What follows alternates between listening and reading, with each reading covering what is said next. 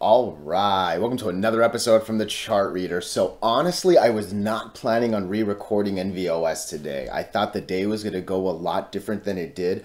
Today was a very interesting day, all right, and it's all because of the shape of this candle, all right there are there are so many different trading strategies out there. One of them for real is people only move their money based on how these candles look. All right, there are names for like this one. There are names for like two in a row that look a certain way. Like I, I don't know that stuff. All right, but but but but the one thing that I take from that strategy is the doji. It's the doji. It's the doji. I respect the doji a lot, and and that's what we got today. We got it on a critical line. Um, I think it's worth talking about again today. So that's actually why I'm doing this. The other one I'm going to cover on this one is a similar spelled one. It's NVAX. I guess it's not as similar, just the N at the beginning. But um, I, I, I, it caught my eye today, and I think it's an interesting one, and I, I actually thought it was um, worth bringing here. But um, yeah, I am excited to talk about these two, but before we go any further and I give you more of my thoughts and opinions, what are we going to do today? Same thing we always do, right? We'll take a look at the daily and the weekly to see how these things are setting up short term. We have our five moving averages. There are horizontal support and resistance lines that I do draw manually myself. Occasionally, you'll see these diagonal trend lines as well. Um, and then when we are done up here, we'll use the MACD, RSI, and volume as our lower indicators. Hey, really quickly, if you can please subscribe to these subscribe to this channel, comment on the videos, good or bad, share this thing online with your friends. Look, anything you can do helps me so so much with these YouTube algorithms. But for real, just being here and giving me your time, oh, I appreciate that so so much. All right, for real, if you can share these, it does me the best because I am not that good at it. But again, thank you for being here. All right. So, look, let's talk about NVOS. And look, I'm going to start with what I said yesterday. All right. I had a $50, a $50, Jesus Christ, um, a 50 cent immediate target. All right. This thing is 55. This is what the line says. Again, my lines are less about being perfect and being close enough. Right. So you're not going to hear me like talk about this thing closing on this line because of like cockiness and showing off. Right. Like it, it, it's more to just give us a general guidance and then adjust accordingly. Right. But yeah, in my head, I thought we were going to see a pretty nice little climb to 50 we have very little resistance and and you know it just it, it, i think i expected a little more and there's two immediate things that jump out and i'm not zooming in again for for specific reason all right the first thing that jumps out is something that i say so so often this gap fill border all right? That's definitely not a technical term. That's just me talking to you like regular humans right? Like the gap fill border basically what i say is the is the, the the wall between the us and mexico right? Like the wall between down here and up here right? The gap right here that gap border is hard to break especially when you see us breaking these bigger candles and bigger clusters and like getting over the 200 like these are harder things that it seems like we're breaking we just dropped a huge huge candle on it, right? Like it looked like we would confirm and run. Hey, we didn't confirm today. All right. And and it really is because these gap fill borders are hard. And you'll hear me say that across any ticker. I'm telling you, that is not NVOS specific. You put that in your back pocket. All right. It's frustrating at times too, but it is what it is. All right. Just believe me when I say that. Okay. Um, that's the first thing that came to mind. The second thing that came to mind simply is volume. All right, we definitely make a ridiculous drop from 300 million down to 81 million. Again, there are there are so so many stocks that would kill to have 81 million shares right? But when you're giving up more than 66% right? Like simple math we're dropping from 3 to 1 less than 1 right? So like we gave up 2 we've given up more than 66% of the volume but we basically end at a 0 man that's that's not too bad all right? Like if volume was better things would have been a lot different. But it wasn't. There were a couple other stocks that I saw just kind of take take the focus, and it is what it is. All right, but overall. Um, those two things were the immediate thing that caught my eye. The next thing I'm going to talk about is today's candle itself. All right. There were moments where people thought it was going to run go to the 34 and higher, right? There were moments where people thought it was going to drop. I saw it go to 27. I was wondering if it was actually going to go to 26 myself. People in the Discord know why I care about that number, right? But um, yeah, it's it's it's it, it it it is a doji. Like it's not as and again, I'm not here to pretend that like I'm a candle mover. So hey, if I'm wrong, believe me, like you're not gonna offend me by saying it. But I don't care if it's this thin or that. Like to me, what I see today is uncertainty. People thought it was gonna go high. People thought it was gonna go low. They basically ended with no gain. They're like, you know what? Let's wait for tomorrow let's see what tomorrow does. And and again, I'm at a place where tomorrow will either take us up closer to that 50 that I was expecting or hey, we actually might be coming down and closing a little closer 26, 25, 24. I don't think we'll go any lower than 24. I don't think we'll lose this entire candle.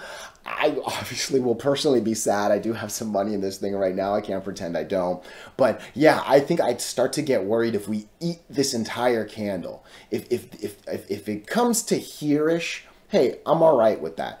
50% is something I'm willing to hold. Losing the whole thing would be scary. I will I will say that. The 8 moving average is all the way down here. I I don't think, you know, coming down to 19 maybe around 20 if i had to guess where this thing was going to go up right it's not like a super steep line like i, I can see this being here tomorrow right around 20 um, i do believe if 24 doesn't hold it will be a very fast drop to 20 and 24 to 20 is actually a 20% move right? Every two cents is 10% so that for real when i say i would be scared of losing excuse me losing 24 i would be scared because i see a very fast drop below this 23 line all the way down to 19 all right? So um, don't forget, this is a cluster of five lines. I only have five lines, right? I call moving average cluster tornadoes because it looks like you go up, looks like you go down, looks like you go up, looks like you go down, looks like you go up, you come back down.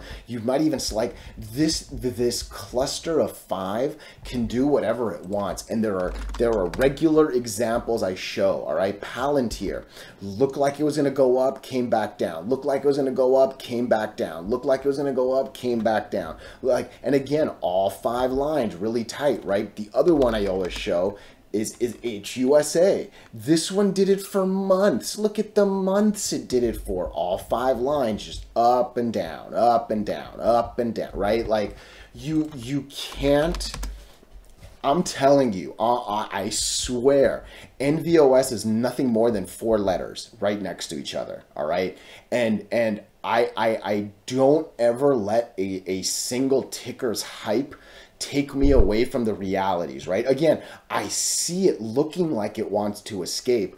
I've just sadly seen sillier things. And again, I'm, I'm, I'm stressing this 24 cent as much as I really want to stress this potential for 50 all right? Because i'm telling you the day after the doji don't care about what we think. It just kind of shows. And this again in my head was a doji. This was the day after. This was a doji. This was the day after we have seen violent days after do we've seen violent ones down too. You know what i mean? So um yeah just this it's a coin flip. Where are we post market we're holding people i'm telling you there is so much uncertainty right now on on what this is going to do tomorrow all right? Macd does not look bad at all. Macd is still diverging right? What does diverging mean? Just two lines going away right? I'm still seeing green going away from the red all right?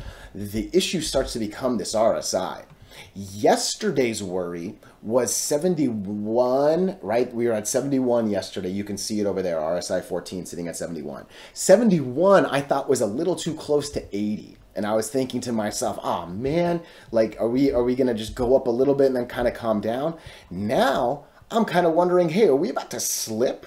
Is the red, is the green going to go below the red? Is the red going to start diverging up? Is that going to make me start to worry a little bit more about 24 than be excited about 25? I'm telling you, when I say I'm, I'm, I'm not here to say I know what tomorrow's going to do. even if I was to use my better indicators, which I obviously am, right? We're looking at chart readers. I have the one and the two for for personal use, right? But um, dude, the doji stresses uncertainty.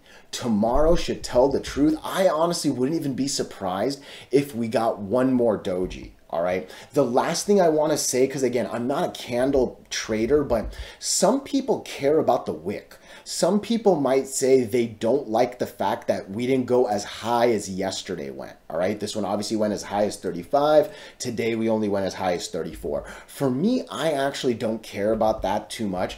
I'm glad the body of the doji is as high as it is as it gets lower and lower on the candle, I start to get worried and worried. Like if we see a doji here tomorrow, I actually will probably start to hit eject. All right. I I I at least I at least would start to thin it out to make sure it doesn't get any like bloodier than it needs to get. You get what I'm saying? But um, right now the doji's at least still in a better place in my eyes, right? Just just my head, right? But um, I'm still seeing a cluster of five that I think we need to, to validate the escape from, and I think that means breaking 29. I wish I had a better line to put just as like what I think I would call that validation number. Maybe it's it's it, this is a good one. Maybe 33 is the number because it's basically 50% of that red candle. I never make supports on a red line, so I mean on a red candle, so I'm not going to do that for this video, but that might be an interesting back pocket one. 35, 34, I think 33 is the the number it's trying to beat actually. So I think this was a good view on NVOS. Again, I don't think I need to discuss the, the weekly too much. Look, this weekly still looks good. All right, it, it really, really does actually. Like we broke the the 50 yes uh, yesterday, last week. This week is seemingly confirming it, right? As long as silly things don't happen the next two days, if you're patient enough, this weekly is actually still looking good. And hey, we're already doing better volume than last week. And we still have two days left. You can see it already. This was one full week. This was five days of trading full week and it got to 333 million. We're already at 360 with a couple days left, right? So this is this good weekly chart. It actually is. And I'm glad I took a couple seconds to at least talk about this thing. But yeah, tomorrow's daily is is is I think this will separate the the risk tolerances to say the least. All right. So NVOS, I think that's an interesting one. All right. NVAX. I clearly, I don't remember if I've made a video here I had this line on the personal side, but um, clearly NVAX is something I've either, like I said, I don't want to repeat it, but um, this line, I don't, I don't remember where it was from. I know I didn't draw today. I can tell you that much. Um, I hope you can see why NVAX is catching my eye. And, and the immediate thing is right here. We are actually over the 200 moving average, and I liked how high we closed above it. That said, you hear me saying it all the time. I'm going to say it right here. One day means nothing, all right? This 7%, I'm glad it wasn't a bigger, sillier number in all honesty, because I think it would have been easier to kind of get distracted. But dude, doing it once is nice. Doing it twice and more makes me believe this thing might sustain and go. And what I like about this NVAX thing is we're starting to get near some gaps, all right? And if if this nine breaks, the next place the next place we go is 12, and that's a really healthy double digit move right there. And you can see it. There's a whole mess of nothing, and then red, red, red, red, red, green, green, green, green, green, red, red, red, red, red. I'm hoping it's actually a quick green, green, green, green up. So I like this immediate. Do I think we're gonna go all the way to 16. I think if you just watch the NVOS line uh, video, you'll you'll know it. This gap fill border ain't easy to break. So I'm I am not having $16 dreams just yet. I'm actually a little hesitant to draw it in all honesty because again, I you see the lines, you start to you believe it gets there, right? Like the chart readers dude thinks it's gonna go because he has the line, right? But I I think there's good reason to put $12 dreams here, and it starts to become these lower indicators, right? I'm loving the MACD. MACD's been positive for a bit, and it looks like it's ready to diverge on up and go go go, right? I'm liking the RSI. Yes, 71's a little high, but hey, we've still got room for 80, right? I think there's enough room to take me from this to this before I start worrying it's at 80 plus, right? And hey, looky, looky, looky, we were in the high, high 80s not that long ago. So this thing knows what to do when it gets to the 80s as well. And I think my favorite part simply is the volume slow and steady up, up, up from here, as well as just in general, a nice, really good two and a half weeks of, of buying compared to selling. So um, there's a lot. I like it. I like it. I like it. I like it, right? There's only so many indicators we have on this thing. The biggest thing to talk about, and again, as excited as I was, we got to bring the realities into the realities. This 200 moving average has been an impossibility since late 2021. All right, since December 2021. That was the last time we were anywhere near this purple line all right? The distance from here to here is is is a lot too so don't don't pretend that like we were kind of close there right? So the one cool thing is look at all the there was some battles with the 100 here there was some battles with the 100 here battles with the 100 here holding and bat like i do believe we've taken the 100 moving average on nvax i do. I think that this is broken for real actually. We do it we do it we do it we've done it in my head right I it is all about this 200. And really, I think this is a beautiful entry place if you're not in just yet either. If we can start getting into that near 10, look, even going from 10 to 12 is still a 20% move, right? So like the, there's nothing wrong with waiting, right? And and I think hitting this or getting there is where are we at after hours? Holding, I'll take holding. I will. I like that a lot actually. So um, again, I think there's there's there are things to like here. More than anything, it's all about that battle of the 200. Let me look at the, the weekly. Oh man, look at this thing. Look at this thing. Struggling, struggling, struggling with the 8 and the 20. All right. We are now maybe trying to make the move from the, again, the, the way it works is break the 8, go to the 20, break the 20, go to the 50, break the 50, go to the 100 do not have $50 dreams on this thing all right just because we haven't even broken the 50 just yet right so don't don't undermine this $10 number right here all right um, that said i think there's reason to believe that that I, I like this i do actually i think I might even call this a juicy setup. I'll be honest with you. I think it's just it needs to confirm tomorrow, and then I would for sure, sure call it a juicy setup. But yeah, NVAX, I like NVOS. Man, that's a gamble, but the weekly still looks good on it. So, hey, as always, let me know your thoughts and opinions. Otherwise, hey, thank you, thank you, thank you.